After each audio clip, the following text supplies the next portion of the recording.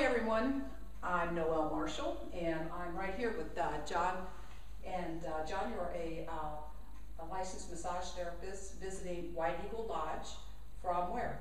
From Virginia, Okay, from, um, did you tell me Lynchburg? Lynchburg, yes. Okay. Uh-huh. And uh, Bob and I are here visiting the White Eagle Lodge, and uh, Boomer wants to let it know that he's also here visiting. So um, just just be quiet, Boomer. So anyway, I met John here, and he has a. Uh, uh, he's going to tell us about a massage technique that can be used in conjunction with other therapies. And uh, John has been an instructor uh, of massage therapy for how many years? Nine and a half. Nine and a half. Okay. And why don't you tell us just a little bit about your background and uh, the technique that you're going to be telling us about? And uh, then we're going to have part two. And part two is uh, I'm going to uh, volunteer for John to um, share this technique. So I'm going to be his guinea pig. So over to you, John. Well, um, I was taught Gua Sha by a chiropractor near Lynchburg and um, used the technique on his patients. Um, at the same time, I was having a problem myself and uh, did not know quite what to make of it. Uh, I thought probably I had fibromyalgia, Mm. uh, and that was um, very difficult to, to deal with. Um, I tried any number of massage techniques. Uh, I was working on it myself. I didn't really want to uh, go the doctor route. Um, and it wasn't until I finally decided that Gua Sha might help um, that I realized what a gem I had. Um, Gua Sha was probably four or five times more effective than other techniques and uh, took much less energy to, uh, to perform. Mhm. And so I began to make real progress problem. Um, So you kind of healed yourself with this technique, or did others use it on you? well, m- mainly I used it on myself, Hmm. but um, I did occasionally get other people to use it on me. Mm-hmm. Um, Sure, there were At that- areas of the, that you weren't able to reach yourself that yes, would help. yes, particularly the back. Mhm. But it did take, I'd say, between two and three years of, uh, of rather hard work to overcome the problem. Hmm. And, um, but, but I did that.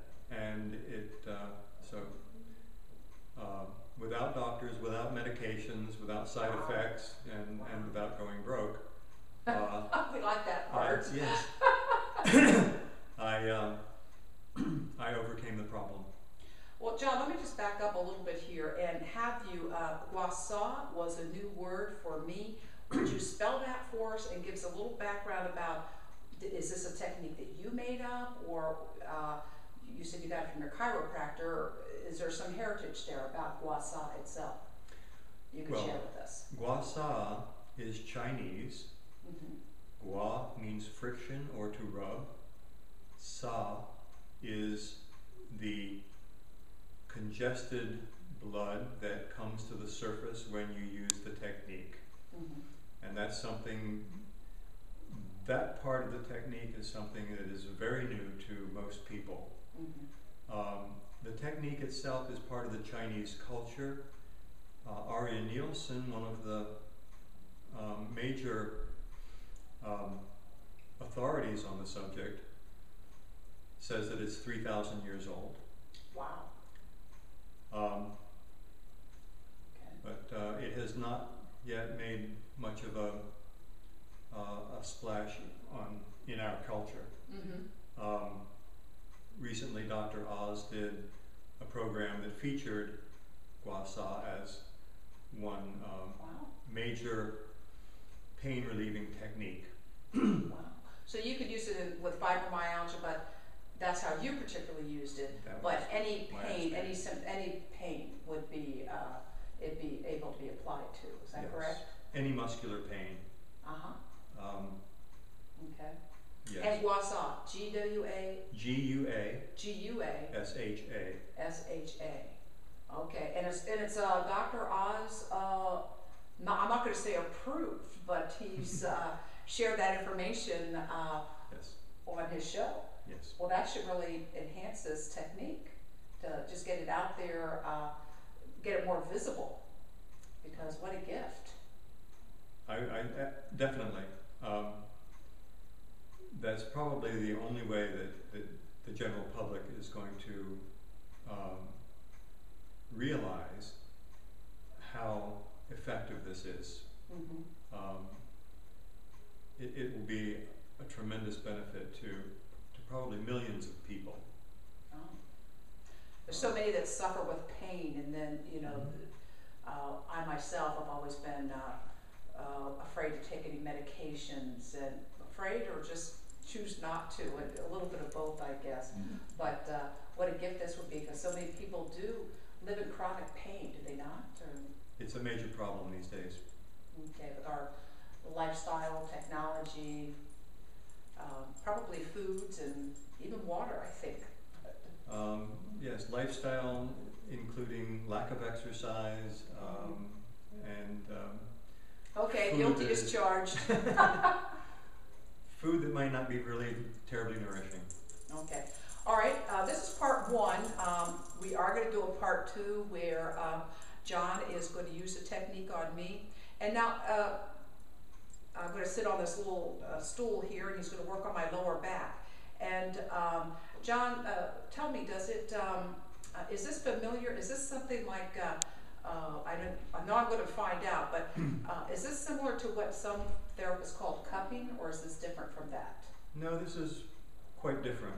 Quite different, Um, it, it is basically just massage using a tool with a blunt, rounded edge. Okay, And uh, even though there are traditional tools that are made for guasa, mm-hmm, um, which are slices of water buffalo horn that have been shaped, um, a jar lid is almost ideal for the practice. okay. So save all those, uh, baby jar lids. Is is that what, is that what Pickle jar, pickle jar lids or Pickle whatever. jar, okay. Alrighty, so we're gonna go ahead and, uh, unless, John, you wanna add anything else here to part one before we go to the demonstration? I, I don't think so. Okay. Let's just do it. Alrighty, and, um, uh, I, but before we do, I'm gonna say, John, please give us your, your full name and how somebody could contact you if they want to learn more about this technique or any other reference you'd like to give. Okay, I'm John Caldwell, and my email address is jsc3 at juno.com.